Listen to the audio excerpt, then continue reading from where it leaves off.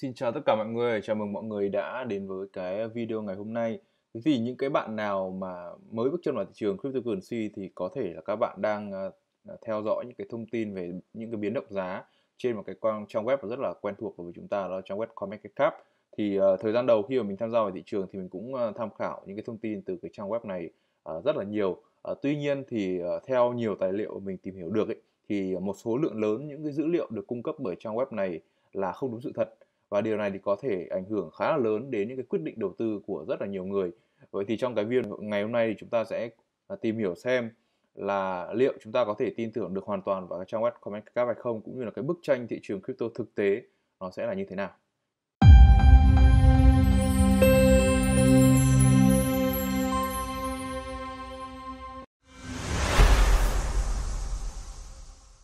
À, theo một cái báo cáo của Bitwise gửi Ủy ban chứng khoán và sàn giao dịch Mỹ SEC thì 95% số volume giao dịch của Bitcoin được niêm yết trên CoinMarketCap là giả và số volume giao dịch thực tế thì thấp hơn rất là nhiều. Báo cáo của Bitwise cho biết là CoinMarketCap thống kê mỗi ngày số volume giao dịch của Bitcoin ở mức là 6 tỷ đô la. À, tuy nhiên thực tế thì theo Bitwise số volume giao dịch Bitcoin hàng ngày chỉ ở mức là 273 triệu USD, tức là chỉ bằng 4,5% so với con số mà CoinMarketCap đã đưa ra và Bitwise tuyên bố rằng là con số volume khổng lồ mà CoinMarketCap đưa ra hầu hết là giả hoặc là waste trading không có ý nghĩa nhiều về kinh tế. Và ngoài ra thì báo cáo còn cho thấy là hiện tượng làm giả dữ liệu có thể được tìm thấy trên 17 trên 25 sàn top đầu được niêm yết trên CoinMarketCap.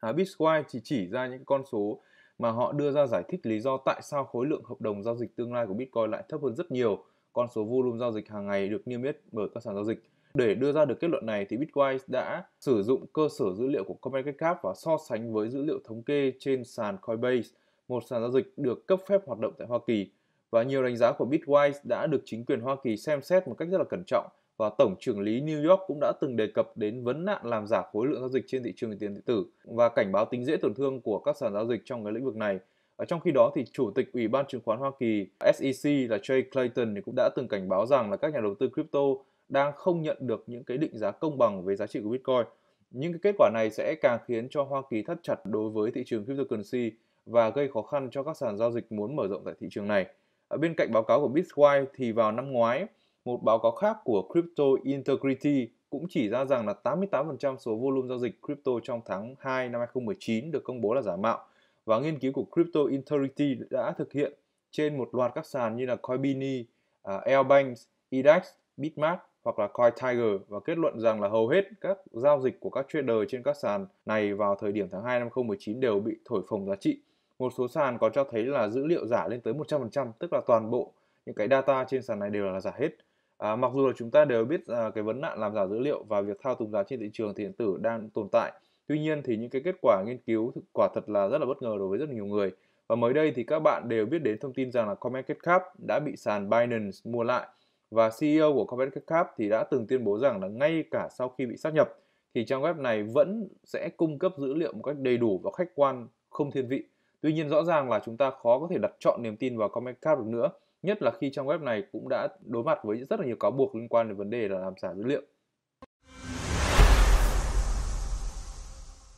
Khối lượng giao dịch là một cái chỉ báo quan trọng để các nhà đầu tư đánh giá giá trị nội tại của một loại tài sản về lý thuyết thì vốn hóa thị trường và giá của một loại tiền điện tử phụ thuộc vào sự cân bằng giữa cung và cầu và sự thay đổi khối lượng giao dịch được các nhà đầu tư sử dụng như một công cụ dự đoán giá tương lai. Ngược lại thì nhu cầu đầu tư một loại tài sản lại dựa vào giá trị nội tại của nó cũng như là tiềm năng của nó trong tương lai. Một khảo sát của một trường đại học cho thấy là có một mối tương quan giữa khối lượng giao dịch của Bitcoin và tần suất tìm kiếm từ khóa liên quan tới Bitcoin trên Google. Báo cáo chỉ ra rằng là khối lượng giao dịch Bitcoin càng lớn thì càng có nhiều người quan tâm đến Bitcoin và mong muốn đầu tư vào thị trường này. Nói cách khác thì với việc khối lượng giao dịch bị thổi phồng lên thì sẽ khiến cho các nhà đầu tư có kỳ vọng cao hơn đối với thị trường crypto. Và tác động lớn nhất của nạn làm giả dữ liệu chính là tới những cái nhà đầu tư trên thị trường tiền điện tử. Đối với các thị trường truyền thống như chứng khoán thì họ còn có các công cụ để ngăn chặn việc làm giả số liệu. Nhưng đối với một thị trường còn khá là non trẻ như crypto thì, thì các hành vi như vậy thiếu các công cụ để ngăn chặn và do đó thì dẫn đến cái tình trạng là Bitcoin cũng như một số những cái đồng coin khác trên sàn bị làm giá và gây ra thiệt hại cho các nhà đầu tư. Ngoài ra thì đối với các nhà đầu tư altcoin, họ cũng thường dựa vào những cái dữ liệu như là tổng số vốn hóa thị trường cũng như là số volume giao dịch hàng ngày để đánh giá giá trị của cái đồng altcoin đó. và trong bối cảnh hiện tại có hàng ngàn dự án à, tiền điện tử được launching trên các sàn giao dịch và vấn nạn fake dữ liệu ờ, sẽ khiến cho các nhà đầu tư đưa ra những quyết định sai lầm và dẫn đến việc bỏ vốn vào những cái dự án coi rác và không có giá trị thực tế.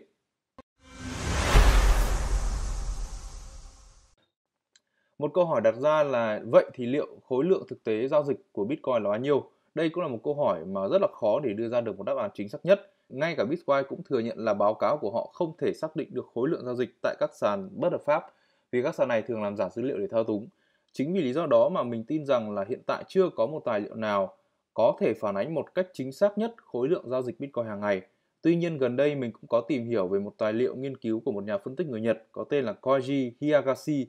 mà mình nghĩ rằng là chúng ta có thể sử dụng nó như một công cụ để tham khảo và có một cái hình dung nhất định về thị trường tiền điện tử.